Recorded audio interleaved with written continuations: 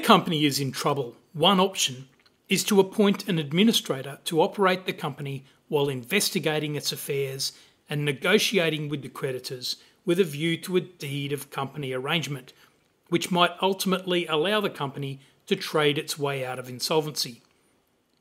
This process could easily be defeated if creditors or other parties were able to commence additional claims, including legal claims, against the company. The Corporations Act deals with this in section 440 capital A of the Act and the sections that follow.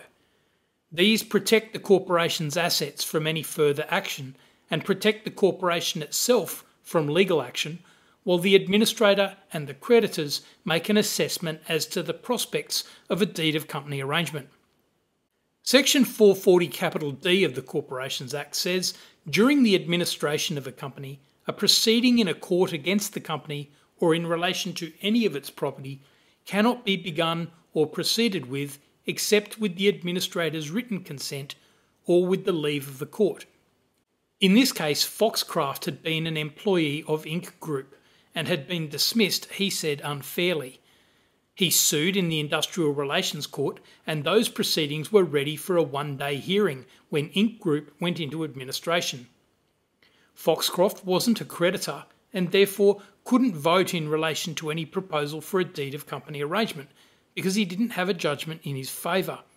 But he couldn't get a judgment in his favour because of the statutory stay of proceedings.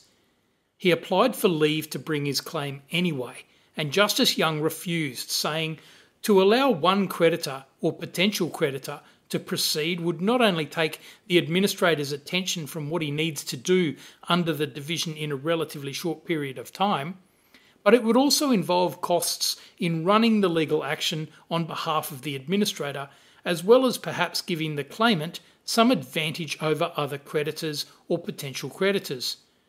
Accordingly, it seems to me that an application under section 440 capital D will rarely be granted.